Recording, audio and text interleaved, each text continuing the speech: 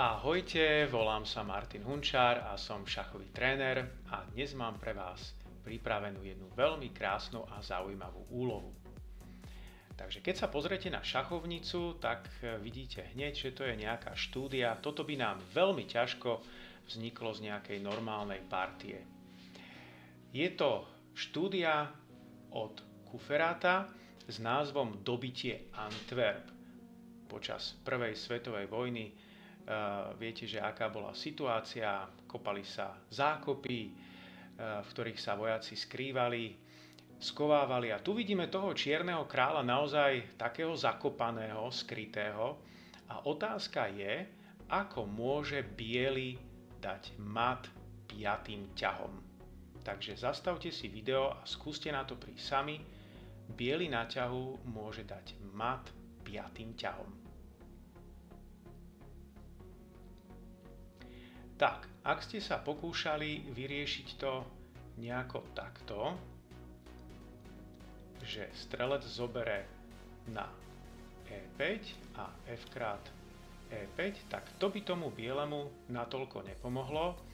Čierny je stále opevnený a dokonca by sa mohlo stať, že by biely tú partiu prehral. Bola tu aj iná možnosť. Ak by ste napríklad zahrali strelec krát C5, tak po nejakom ťahu B krát C5 biely by mohol skúsiť dáma G1, to vyzerá veľmi slubne. A po ťahu C4, čierny tu má takýto medziťah, biely môže skúsiť väža krát C4 a Teraz to vyzerá pre ňoho veľmi slubne.